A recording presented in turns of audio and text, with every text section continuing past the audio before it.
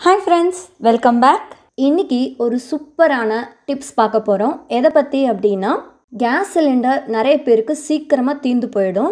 So அந்த case சிலிண்டரை எப்படி மிச்சப்படுத்தலாம்? அதில் சேவிங்ஸ் எப்படி பண்ணலாம்? அப்படிங்கிறத இந்த வீடியோவில் டீட்டெயிலாக கொடுத்துருக்கேன். பத்து விதமான டிப்ஸும் பக்காவாக கொடுத்துருக்கேன். எந்த டிப்ஸுமே மிஸ் பண்ணாமல் பாருங்கள் கடைசியாக போனஸாக ஒரு டிப்ஸ் கூட கொடுத்துருக்கேன்.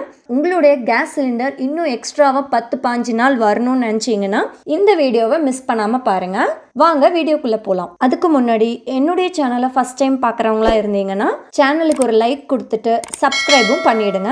வாங்க டிப்ஸ்குள்ளே போகலாம் tip number one weekly once அது உங்களுடைய பர்னரை கலட்டி நல்லா வாஷ் பண்ணி க்ளீன் பண்ணிடுங்க. ஏன்னா நீங்கள் பால் காய வைக்கிறப்பையோ குக்கர்லேருந்து அதிகமான தண்ணி வெளியே வரப்பையோ கண்டிப்பாக அந்த பர்னரில் போய் அந்த ஸ்ட்ரெயின்ஸ்லாம் ஒட்டிக்கும். நம்ம அப்படியே திரும்ப திரும்ப யூஸ் பண்ணுறப்ப கண்டிப்பாக அதுலேருந்து கேஸ் கண்ணுக்கு தெரியாமல் லீக் ஆகும். ஸோ அந்த பர்னரை வந்து நல்லா க்ளீன் பண்ணிவிடுங்க weekly once Vim gel baking soda இதெல்லாம் வந்து தண்ணியில் போட்டுட்டு அந்த பர்னரை நைட்டே நீங்கள் ஊற வச்சுட்டு தூங்கிடுங்க. நெக்ஸ்ட் டே மார்னிங் பார்த்தீங்கன்னா அதில் இருக்கிற அழுக்கு எல்லாம் கீழே போயிடும். அந்த பர்னரை எடுத்து ஒரு டூத் ப்ரஷ்ஷோ இல்லை ஸ்டீல் ப்ரஷ்ஷோ போட்டு நல்லா வாஷ் பண்ணிவிட்டு அப்புறமா அதை யூஸ் பண்ணுங்கள் உங்களுக்கு அந்த பால் பொங்குறப்ப நிற்கிறதுக்கு கூட நேரம் இல்லை அப்படின்னு நினைக்கிறவங்க அதுக்கு பதிலாக ரெண்டு ஆப்ஷன் யூஸ் பண்ணலாம். ஒன்று காப்பர் பாட்டம் இந்த காப்பர் பாட்டம் பாத்திரங்கள்லாம் நீங்கள் யூஸ் பண்ணீங்க அப்படின்னா பால் வந்து சீக்கிரமாக காஞ்சிரும். ஸோ நீங்கள் ரொம்ப நேரம் நிற்க வேண்டிய அவசியம் கிடையாது. ரெண்டாவது மெத்தட் பார்த்தீங்கன்னா பால் குக்கர் மெத்தட் இப்போ ஆன்லைன்லேயும் சரி சின்ன சின்ன கடைங்களையும் சரி மில்க் குக்கர்னு விற்பாங்க இது வந்து கிட்டத்தட்ட ப்ரெஷர் குக்கர் மாதிரி தான் நீங்கள் மில்க் குக்கரில் வச்சு விட்டுட்டு உங்கள் மற்ற வேலைகள்லாம் நீங்கள் பார்க்கறதுக்குள்ள மில்க் குக்கர்லேருந்து உங்களுக்கு சவுண்டு வந்துடும் ஸோ பால் பொங்கிடுச்சின்னு நினச்சி நீங்கள் ஆஃப் பண்ணிடலாம்.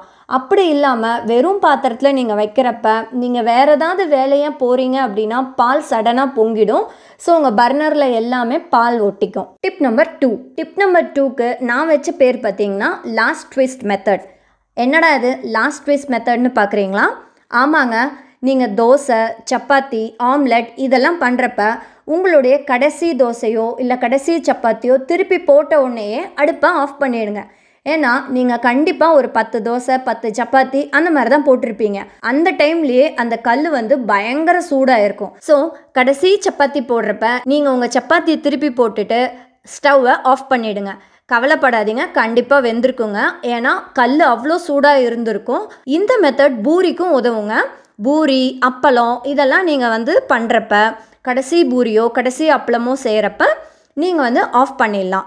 இதுலேயே இன்னொரு அடிஷ்னல் டிப்பு என்னென்னா ரெண்டு ரெண்டு பூரியாவும் போடலாம் ரெண்டு ரெண்டு அப்பளமாகவும் போடலாம்.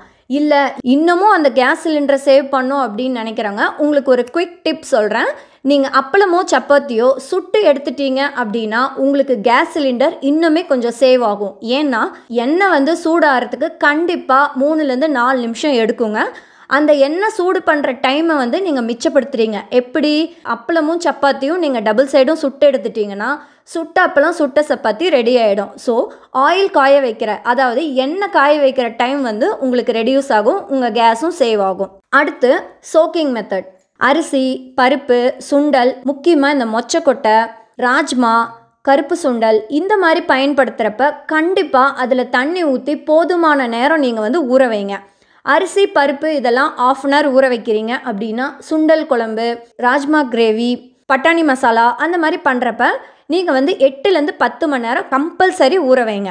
ஏன்னா நீங்கள் அதிக நேரம் ஊற வைக்கிறப்ப ரெண்டு அல்லது மூணு விசில்லையே உங்களுக்கு வந்து வெந்துடும்.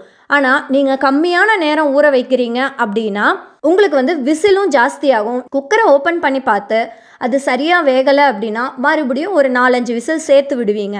இதுவுமே கேஸை வந்து தேவையில்லாமல் செலவு பண்ணுற வேலை தான் ஸோ நீங்கள் என்ன பண்ணுறீங்க அரிசி பருப்பு அப்படின்னா குறைந்தபட்சம் ஒன் ஹவர் ஊற வைங்க. மொச்சக்கொட்டை ராஜ்மா இந்த மாதிரி சுண்டல் வகைகள் அப்படின்னா கண்டிப்பாக எட்டுலேருந்து பத்து மணி நேரம் ஊற வைங்க. இல்லைங்க எனக்கு டைம் இல்லை. நான் இன்னும் கொஞ்சம் சீக்கிரமாக அதை வந்து ஊற வைக்கணும். அதுக்கு ஏதாவது டிப்ஸ் இருக்கான்னு கேட்டிங்கன்னா நல்லா கொதிக்கிற தண்ணியில் உங்களுக்கு எந்த அளவு வேணுமோ அந்த அளவு அந்த சுண்டல் வகைகளை ஊற வச்சுட்டு அதுக்கப்புறமா நீங்கள் வந்து ஒரு நாலஞ்சு விசில் விடலாம். ஆனால் பெஸ்ட் மெத்தட்னு பார்த்தீங்கன்னா நைட் ஃபுல்லாக ஊற வைக்கிறது. அப்படி இல்லைனா எட்டுலேருந்து பத்து மணி நேரம் ஊற வைக்கிறது. நெக்ஸ்ட்டு டிப் ஃபோரு இதுக்கு வந்து பி ரெடி மெத்தட் அப்படின்னு சொல்லலாம். நீங்கள் சமைக்கிறதுக்கு முன்னாடி என்னென்ன வெஜிடபிள்ஸ் வேணுமோ அது எல்லாத்தையுமே வாஷ் பண்ணி கட் பண்ணி ரெடியாக வச்சுக்கோங்க. மசாலா பொருட்கள் மஞ்சப்பொடி மிளகாய்த்தூள் கரம் மசாலா சாம்பார் பொடி இந்த மாதிரி பொடி வகைகள்லையும் அந்தந்த டப்பாவை வந்து ஓப்பன் பண்ணி ஸ்பூன் போட்டு ரெடியாக வச்சுக்கோங்க. அப்படி இல்லையா? அந்த டப்பாவில் இருந்த பவுடரை எடுத்து ஒரு தட்டில் எந்த அளவு போட போகிறீங்களோ அந்த அளவுக்கு நீங்கள் வந்து மெஷர் பண்ணி தட்டில் போட்டு ரெடியாக வச்சுக்கோங்க. ஏன்? கருப்பில் கொத்தமல்லி இஞ்சி பூண்டு பேஸ்ட் இது முதற்கொண்டுமே கட் பண்ணி ரெடியாக வச்சுக்கோங்க.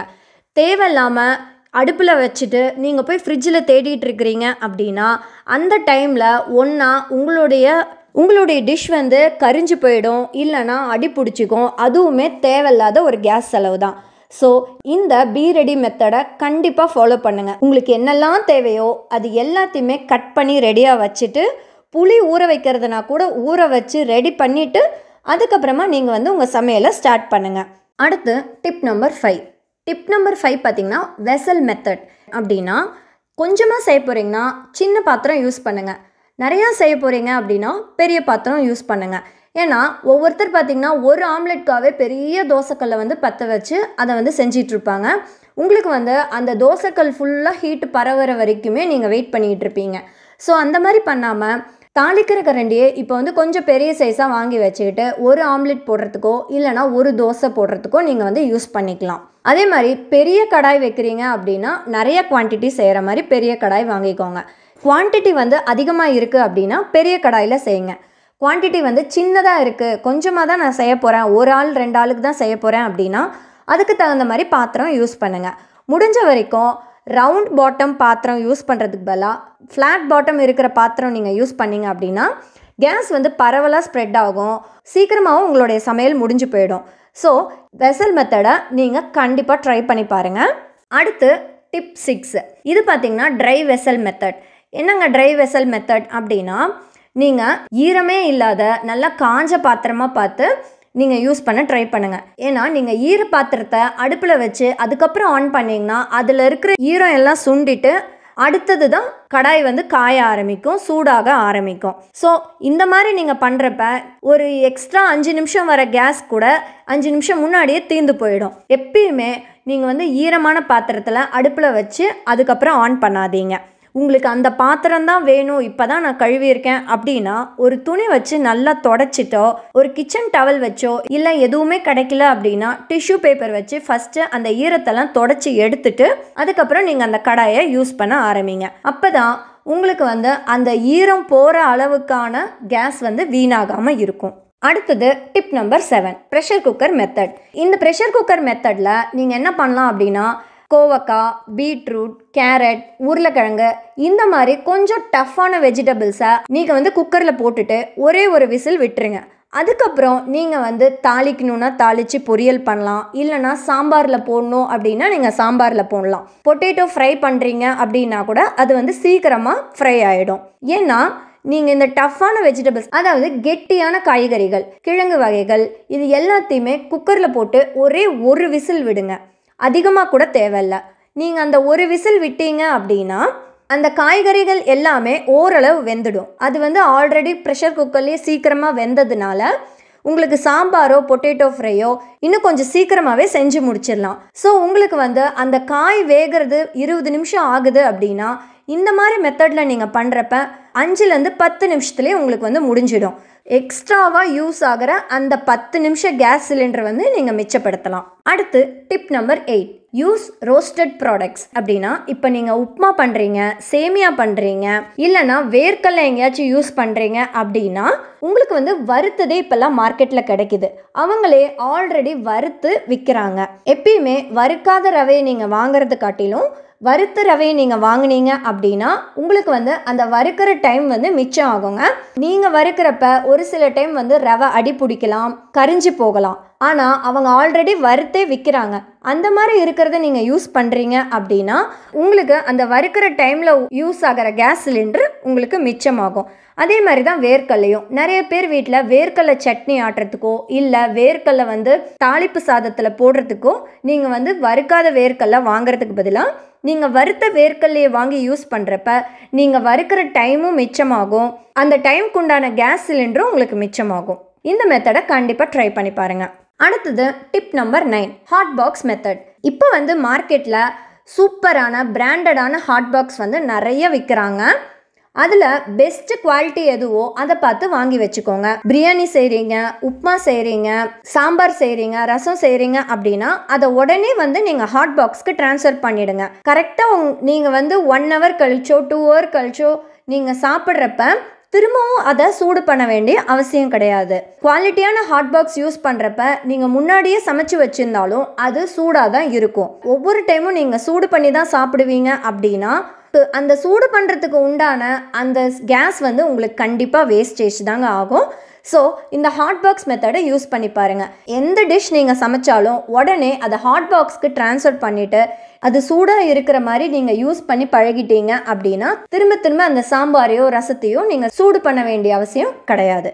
ஸோ இந்த மெத்தடை நீங்கள் ட்ரை பண்ணி பாருங்கள் அடுத்தது டிப் நம்பர் டென் அதாவது எப்போல்லாம் உங்கள் சிலிண்டர் யூஸில் இல்லையோ அப்போல்லாம் அதை சுவிட்ச் ஆஃப் பண்ணி வச்சிடுங்க. சிலிண்டரை ஆஃப் பண்ணி வைக்கிறதுக்கு ரெகுலேட்டர்லேயே ஒரு நாப் கொடுத்துருப்பாங்க. எப்போல்லாம் நீங்கள் யூஸ் பண்ணலையோ அப்போல்லாம் அதை நீங்கள் ஆஃப் பண்ணி வச்சுருங்க. ஏன்னா சிலிண்டர் கேஸ் பைப்பில் வந்து கண்டிப்பாக ஏதாவது லீக்கேஜ் இருக்குது அப்படின்னா அது வந்து கொஞ்சம் கொஞ்சமாக பிட்டு பிட்டாக லீக் ஆகிறதுக்கான வாய்ப்பு இருக்குது அதுவும் ஒரு விதமான வேஸ்டேஜ் ஆஃப் கேஸ் தான். எப்போல்லாம் உங்களுடைய சிலிண்டர் நீங்கள் யூஸ் பண்ணலையோ வெளியே போகிறீங்க ஊருக்கு போகிறீங்க அப்படின்னா கண்டிப்பாக அதை ஆஃப் பண்ணி வச்சுட்டு போங்க. அப்போ தான் உங்களுக்கு எந்த லீக்கேஜும் இருக்காது. அதே மாதிரி சிலிண்டரும் சேவ் ஆகும். கடைசியாக மூணு போனஸ் டிப்ஸ் பார்க்கலாம். நான் உங்களுக்கு இந்த வீடியோவோட ஸ்டார்டிங்லேயே போனஸ் டிப்ஸ் வந்து கடைசியாக கொடுக்குறேன்னு சொல்லியிருந்தேன். ஸோ அது என்னென்னு பார்க்கலாம்.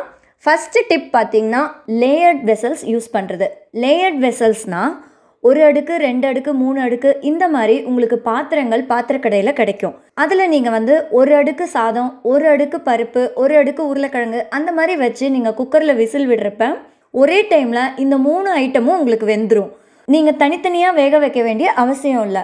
ஒரே டைமாக நீங்கள் வேக வைக்கிறதுனால கேஸ் கண்டிப்பாக மிச்சம் ஆகுங்க. ட்ரை பண்ணி பாருங்கள் செகண்ட் டிப் பார்த்தீங்கன்னா தக்காளி இதெல்லாம் வணக்கிறதுக்கு ரொம்ப லேட் ஆகும். அதுக்கு பதிலாக ஒரு சில நாள் வந்து நீங்கள் தக்காளியை அரைச்சி பேஸ்ட்டாக யூஸ் பண்ணிக்கோங்க. டொமேட்டோ பேஸ்ட்டாக யூஸ் பண்ணிக்கோங்க. அப்போ என்ன ஆகும் அப்படின்னா தக்காளி வந்து சீக்கிரமாக வெந்துடும். அது வேகிற டைம் வந்து உங்களுக்கு சேவ் ஆகும். லாஸ்ட் டிப் என்னன்னு பார்த்தீங்கன்னா ஸ்வீட் ரெசிபிஸ் பண்ணுறப்ப யூஸ் பண்ணுற சக்கரை பற்றி தான் நீங்கள் வந்து நிறைய ஸ்வீட் ரெசிபிஸ் பண்ணுவீங்க. சக்கரை பொங்கல் அல்வா பாயசம் பால்கோவா இந்த மாதிரி நிறைய ஸ்வீட் ரெசிபிஸ் பண்ணுவீங்க. அப்போ வந்து நீங்கள் போடுற சர்க்கரையை பவுடர் பண்ணி போடுங்க. மிக்சியில் போட்டு ஜஸ்ட் ஒரு ரெண்டு பல்ஸ் பண்ணிவிட்டு நீங்கள் அந்த சர்க்கரையை வந்து உங்கள் பாயசத்துலேயோ அல்வாலேயோ நீங்கள் ஆட் பண்ணுறப்ப அந்த சர்க்கரை வந்து பவுடர் ஃபார்மாக இருக்கு இல்லையா? ஸோ இன்னும் கொஞ்சம் சீக்கிரமாகவே உங்களுக்கு வந்து அந்த பாயசமோ அல்வாவோ ரெடி ஆகிடும் ஆனால் நீங்கள் கிறிஸ்டல் சுகராகவே போடுறீங்க அப்படின்னா அது உருகி உங்களுக்கு வந்து அந்த டிஷ் தயாராகிறதுக்கு இன்னும் கொஞ்சம் லேட் ஆகும். ஸோ நீங்கள் இந்த பவுடர் சுகராக யூஸ் பண்ணுறப்ப உங்களுக்கு கண்டிப்பாக கேஸ் சேவ் ஆகுங்க. ஸோ இந்த டிப்ஸ் எல்லாமே உங்களுக்கு பிடிச்சிருக்கும்னு நினைக்கிறேன். கண்டிப்பாக யூஸ் ஆகும்னு நினைக்கிறேன். ஸோ கேஸ் சிலிண்டர் சேவ் பண்ணுறதுக்கு நான் சொன்ன இந்த டிப்ஸை நீங்கள் கண்டிப்பாக ஃபாலோ பண்ணி பாருங்கள் இந்த வீடியோ உங்களுக்கு பிடிச்சிருந்தா லைக் பண்ணுங்கள் ஷேர் பண்ணுங்கள் ரக்ஷி டாக்ஸ்க்கு சப்ஸ்கிரைப் பண்ணுங்கள் தேங்க்ஸ் ஃபார் வாட்சிங்